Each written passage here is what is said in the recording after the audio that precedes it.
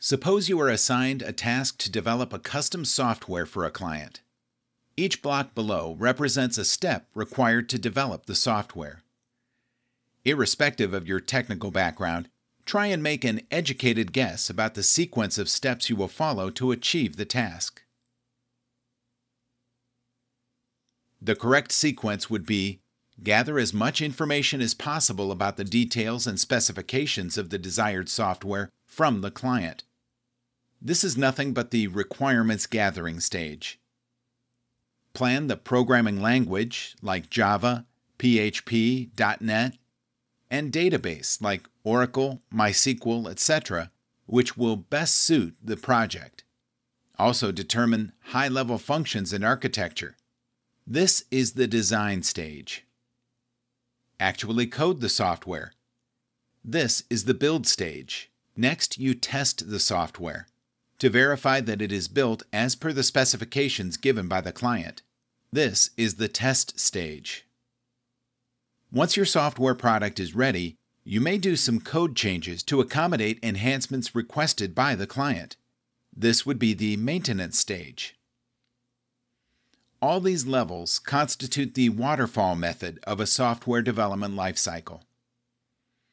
As you may observe, testing in the model starts only after implementation is done. But if you are working on a large project where the systems are complex, it's easy to miss key details in the requirements phase itself. In such cases, an entirely wrong product will be delivered to the client. You will have to start afresh with the project or if you manage to note the requirements correctly, but make serious mistakes in design and architecture of your software, you will have to redesign the entire software to correct the error.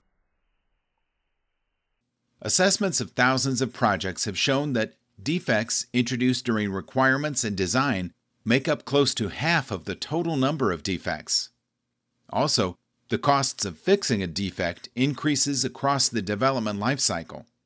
The earlier in the life cycle a defect is detected, the cheaper it is to fix. As they say, a stitch in time saves nine. To address this concern, the V model of testing was developed. For every phase in the development life cycle, there is a corresponding testing phase. The left side of the model is the Software Development Lifecycle, SDLC. The right side of the model is the Software Test Lifecycle, STLC. The entire figure looks like a V, hence the name V model. In this figure, you'll find a few stages different from the waterfall method. These differences, along with the details of each testing phase, will be discussed in a later tutorial.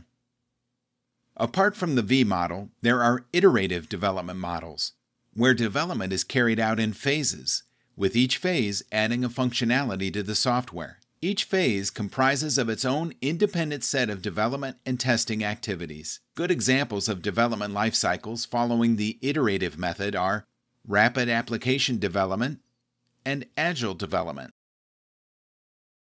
Before we close this tutorial, here are a few pointers. You must note that there are numerous development lifecycle models. The development model selected for a project depends on the aims and goals of that project. Testing is not a standalone activity, and it has to adapt with the development model chosen for the project. In any model, testing should be performed at all levels, right from requirements gathering all the way up to maintenance.